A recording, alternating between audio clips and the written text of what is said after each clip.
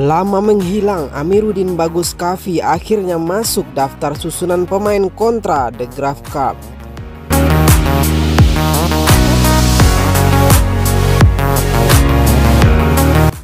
Young FC Utrecht menghadapi The Graph Cup pada lanjutan Liga RST Divisi atau kasta kedua Liga Belanda pada Sabtu 25 September pukul 1 dini hari waktu Indonesia bagian Barat.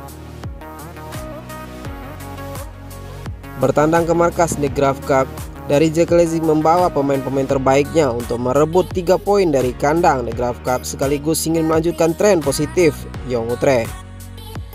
Seperti diketahui, Young Utrecht belum terkalahkan dalam empat laga terakhir.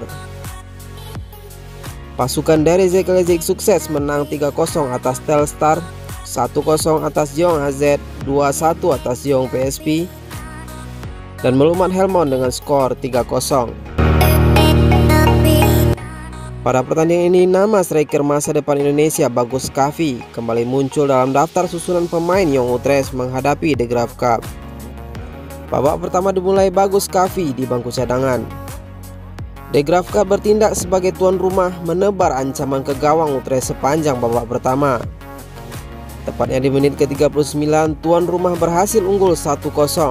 Babak pertama pun berakhir dengan skor 1-0 keunggulan tuan rumah sementara.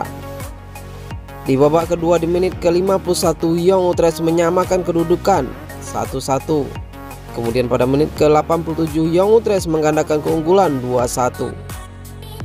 Sayangnya pada laga ini Amiruddin Bagus Kavi tak diturunkan dari Zekelezik. Pada menit ke-90 plus 5 The Graph Cup menyamakan kedudukan 2-2.